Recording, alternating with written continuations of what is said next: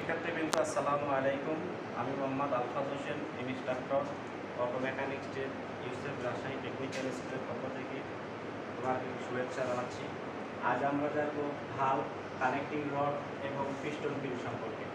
আজ আলোচনা শেষে আমরা যা শিখতে পারব ভালো কাকে বলে ভালো কত প্রকার ও কী কী ভালো এর কাজ কী কানেক্টিং রড এর কাজ কী পিস্টন পিনের কাজ কী তো আসুন আমরা দেখে নিই ভালো কাকে বলে? আসলে ভালো ভালো মূলত যে ডিভাইসের মাধ্যমে কোনো পথকে খোলা এবং বন্ধ করা হয়, সেটাকেই ভালো বলে।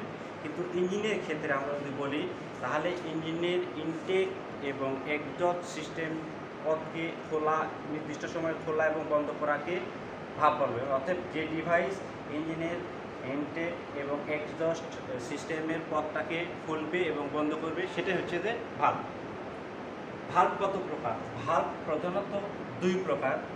একটা হচ্ছে ইনটেক ভাল্ব একটা এক্সজস্ট ভাল্ব ইনটেক ভাল্বটা হচ্ছে যে যে পথে ইনটেক মানে বাতাস প্রবেশ করবে, যদি ডিজেল ইঞ্জিন হয় শুধু বাতাস প্রবেশ করবে এবং পেট্রোল ইঞ্জিন হলে এয়ার ফুয়েল মিক্সচার প্রবেশ করবে, ওই প্রবেশ পথে যে প্রবেশ পথটাকে যে খুলবে এবং বন্ধ করবে, সেটাই হবে ইনটেক ভাল্ব আর এক্সজস্ট ভাল্বটা হচ্ছে যে ইঞ্জিনের যে পোড়া গ্যাস বের হবে, সেই পথটাকে খোলা এবং বন্ধ করাই হবে এক্সজস্ট ভালভের কাজ।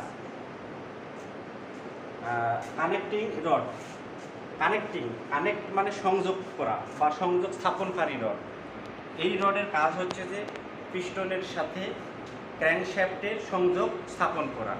এটা দ্বিমুখী ধাক্কা সহ্য করে কাজ করে।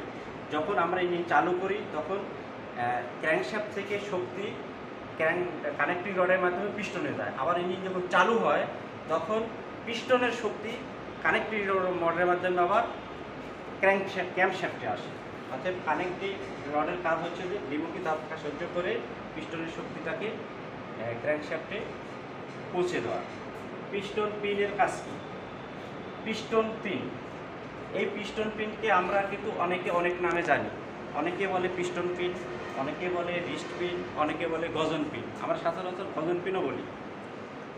পিস্টন পিনের কাজটা হচ্ছে যে পিস্টন এবং কানেক্টিং রডের মধ্যে সংযোগ স্থাপন করা, যেন ফ্রিভাবে পিস্টনটা চলতে পারে এবং কানেক্টিং রডটা যেন খেলতে পারে। এই পিস্টন পিনের কাজ মূলত পিস্টনের সাথে কানেক্টিং রডে সংযোগ স্থাপন করা। তো আজকে আমরা ভালো কানেক্টিং রড এবং পিস্টন সম্পর্কে জানলাম। আগামী ক্লাসে কোনো একটা প্রফেস নিয়ে তোমাদের সামনে হাজির হব। সেই পর্যন্ত তোমরা সুস্থ থাকো, সুন্দর থাকো, ভালো থাকো। আল্লাহ হাফেজ।